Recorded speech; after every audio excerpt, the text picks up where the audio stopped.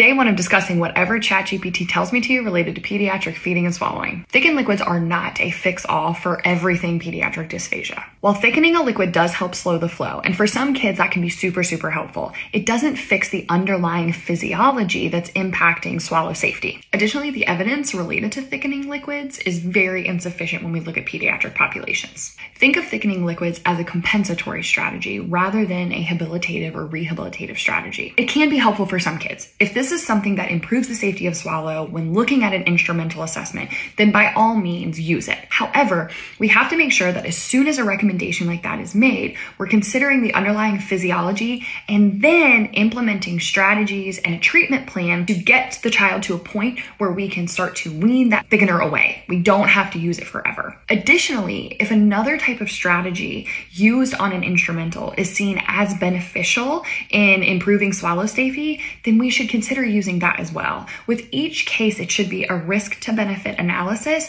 and we should be thinking about overall safety. So, yes, sometimes thickeners might be used, but it always should be thought about as something compensatory that we're looking to wean away from as soon as possible.